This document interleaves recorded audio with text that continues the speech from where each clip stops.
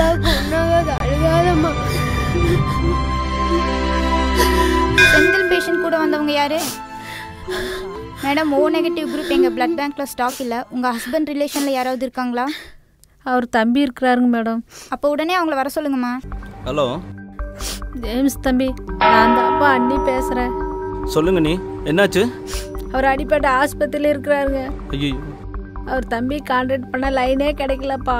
Bread எல்லாம் கேட்குறாங்க எனக்கு ரொம்ப பயமாக இருக்குதுப்பா எப்படியாவது ஏற்பாடு பண்ணுங்க. எதுக்கு பயப்படாதீங்க? கவலைப்படாமல் இருங்க. இப்போ நான் உடனே கிளம்பி அங்கே வர்றேன்.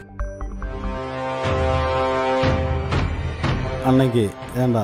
அன்னைக்கு எந்த உறவும் இல்லை எந்த ரத்த பந்தமும் இல்லை. அப்படியெல்லாம் எழுதி வாங்கினான்லடா எங்கள் அண்ணன். அப்போல்லாம் எங்கடா போனாங்க இவங்க? டேய் மாப்பிள சொத்தை பற்றி பேசுகிற நேரமாடா இது. உங்கள் அண்ணன் உசுறு உங்கள் கையில் தான்டா இருக்குது. வாடா போலாம் சீக்கிரம் வாடா. இதுக்கு மீறி ஏதாச்சும் பேசுனேன் நம்ம ரெண்டுத்துக்குள்ள இருக்கிற ஃப்ரெண்ட்ஷிப் கட்டாயிரும் போயிரு சொல்கிறத சொல்லிட்டேன். மனசாட்சின்னு ஒன்று இருந்தா வந்து சேர். சரியா? நாளைக்கு இதே நிலைமை உனக்கு வர்றதுக்கு ரொம்ப நேரம் ஆகாது. தெரிஞ்சுக்கோ.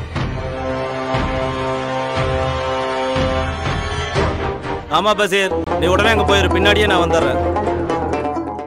ஏய் இருடா. அவங்க கூட பிறந்த பாவத்துக்கு வந்து தொலைகிறேன்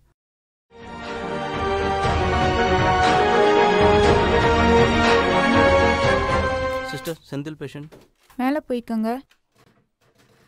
ஜேம்ஸ் எஸ் செந்தில் எப்படி இருக்காருங்க? ஹீஸ் பர்ஃபெக்ட்லி ஆல் ரைட் இனி பயப்பட தேவையில்லை. தேங்க்யூ டாக்டர் தேங்க்ஸ் வந்து அவருக்கு சொல்லுங்கள் சரியான நேரத்தில் வந்து அவர் தான் பிளட்டு கொடுத்துருக்காரு.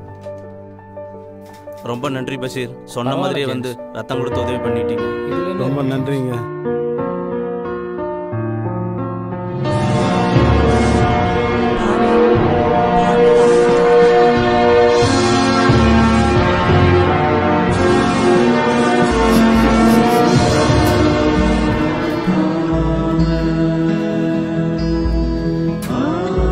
என்ன இதெல்லாம்? பெத்தவங்களுக்கு பிள்ளையா இருக்கிறனாலையோ கூட பிறக்கறனாலையோ ஒருத்தருக்கு நம்ம ரத்த பந்தமாயிட முடியாது.